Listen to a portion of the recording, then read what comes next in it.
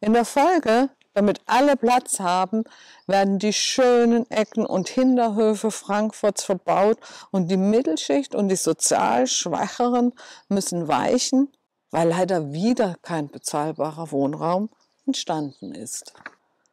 Es wird Zeit, dass im Frankfurter Stadtparlament mehr Parteivertreter sitzen, die die Belange der Bürger mit in den Ring werfen.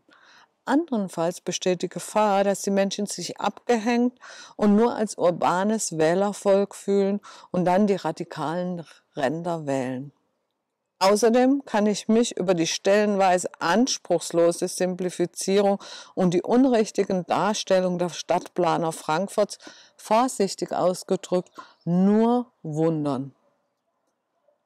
Die Idylle vergangener Tage wollen wir bestimmt nicht zurückholen. Im Gegenteil. Wir wollen als engagierte Bürger und Fachleute zusammen mit Politikern die Lebensqualität in der Region und in der Stadt Frankfurt für die Zukunft erhalten und wollen nur Entschleunigung auf dem schwer zu bremsenden Wege zur Megametropole. Ein nicht alles zubauen wünschen sich zahllose Frankfurter. Es wird dargestellt, als wollten die Wachstumsskeptiker keinerlei neue Arbeitsplätze mehr in Frankfurt und uns wird trickreich unterstellt, ob wir der Jugend Jobs und Wohnungen verweigern wollen.